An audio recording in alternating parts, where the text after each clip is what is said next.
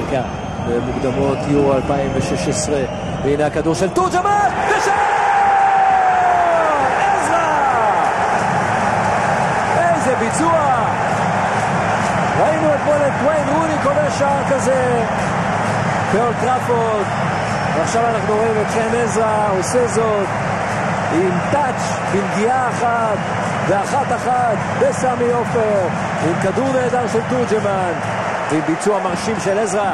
כן, וכי כשהכל צפוף, וחן עזרא פותח, ותורג'מן פותח, וחן עזרא צריך ללמוד מהגול הזה שכדורגל משחקים מהר. היו הרבה פעמים שהוא היה עוצר את הכדור ועד שהוא היה בועט כבר היו חוטפים לו. כדורגל שההגנה צפופה ויש הרבה צפיפות צריך לבעוט כדור ישיר. הוא עשה את זה כמו גדול, הוא צריך להמשיך לעשות את זה הרבה.